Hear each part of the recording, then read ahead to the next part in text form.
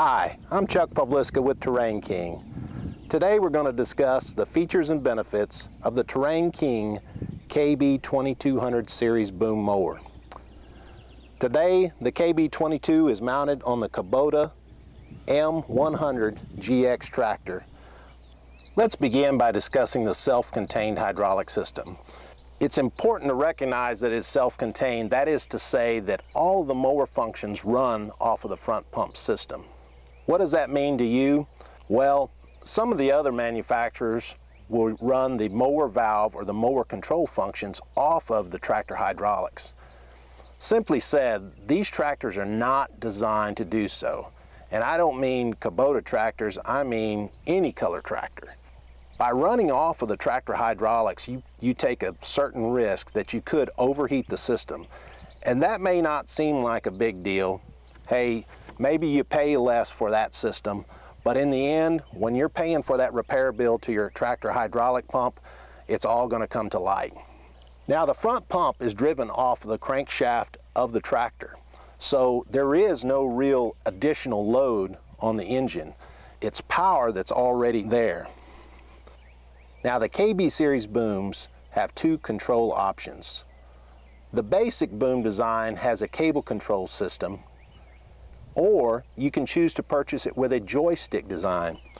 Our valve is a five spool valve. However, we're able to get six functions out of that by use of a diverter valve system. You also want to note that the KB series has a front mounted hydraulic reservoir. This is very important in terms of operation of the boom. By having the reservoir at the front of the tractor, you eliminate a visibility problem that typically comes up on the left side of the tractor. We'll talk about that when we get around there.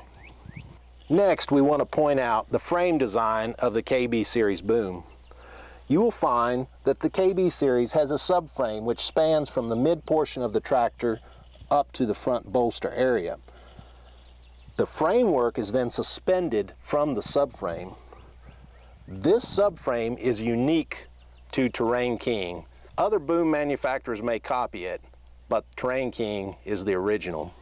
The KB series subframe is probably the heaviest in the industry you'll find that the turning arm is based on a turret design. That is, we utilize a slew ring bearing as a basis for a turret mechanism, which allows the boom to swing 180 degrees from front to rear.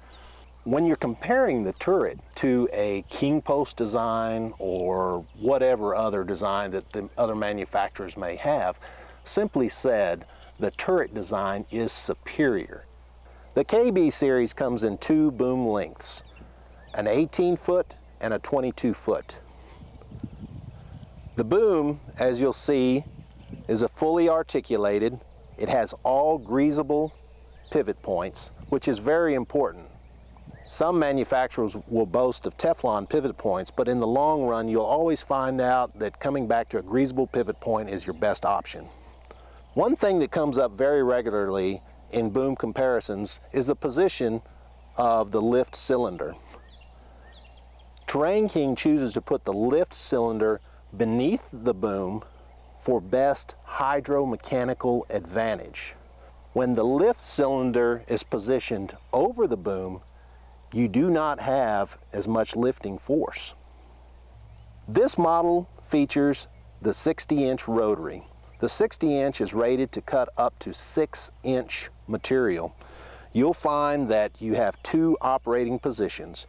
You can operate with the door closed for mulching or you can open the door for limbing whereas you will be cutting 6 inch material. The 60 inch rotary comes with a long history of success. This particular model features the swivel option which in effect allows you to mow closer to the tractor. Now just a minute ago I mentioned the 180 degree swing of the boom. Well, you're thinking, what does that do for me? Well, when a boom only swings 90 degrees from rear to perpendicular to the tractor, you're limited on how close you can bring the cutting head to the tractor in a mowing application, especially when you're mowing a roadside ditch. The reality of the matter is with that, when you are limited to a 90 degree swing, The closest you're going to bring that cutting head in is probably three to four feet away from the tractor. Well, that's going to push you out into the roadway when you're cutting. Now here's the great advantage of the Terrain King with a 180 degree swing and the swivel option on the rotary. This feature alone allows you to bring the rotary head right up next to the front tire. So when you're mowing the immediate roadside, you're able to run your tire right along the grass, make a beautiful cut, and stay out of the traffic.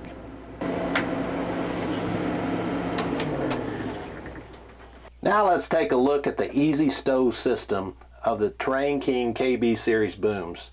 One thing I want to point out is how the swivel head allows you to tuck the cutting head in behind the tractor for narrow transport.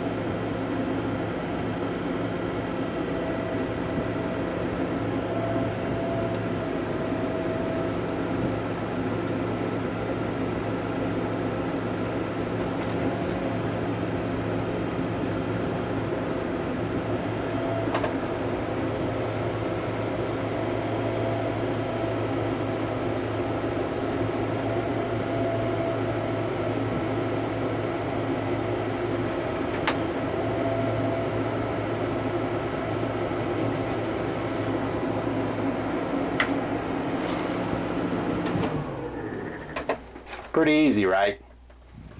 We'll just take a quick look at the rear of the unit. You'll find that we feature a two-piece boom rest system where the lower mounting point is based off the bottom of the axle with a support that crosses over the top of the axle. We also want to point out that the boom rest makes a great location to tuck away our oil cooler system. Let's take a look at the other side of the tractor.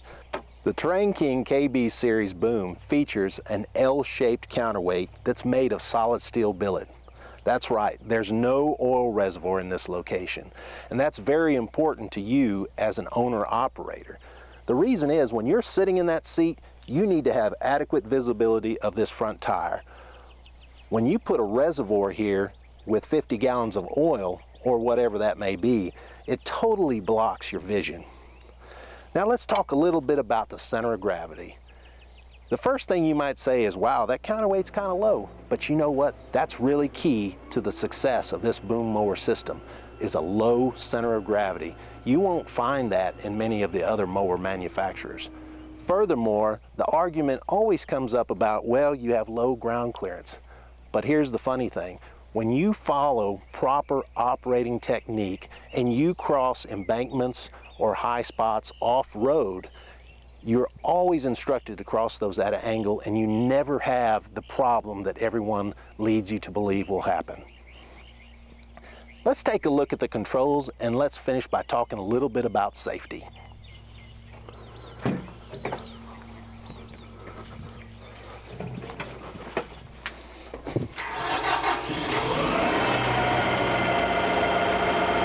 Let's talk a little bit about the joystick. And immediately we have to discuss safety. Our joystick is designed with a master on-off switch. In order for the tractor to start, the joystick must be in the off position. If the joystick were in the on position, it's a dead man switch and the tractor simply will not start. The next thing we want to point out is our engagement system. We have a very simple push-pull start-stop system where you pull the knob up, engage the motor start with your thumb, and when that happens, you have a light that recognizes that the cutter head is in the on position. Simply stated, if you get in a predicament where you need immediate shutdown, you hit the stop button and the cutter head will stop within six seconds. Let's finish our safety discussion with a little bit about the operator environment. Notice that the joystick is ergonomically placed at arm's reach for the operator. Operator's not reaching up here all day out of reach and in an uncomfortable position. We also want to point out that the right side glass has been replaced with a 3 8 inch polycarbonate that features a UV and scratch resistant coating. Last but not least, look at all the space. The Kubota GX Series tractor features one of the largest cabs in the industry. And hey, there's so much other stuff here that we could discuss, but take a look at the video at terrainking.com.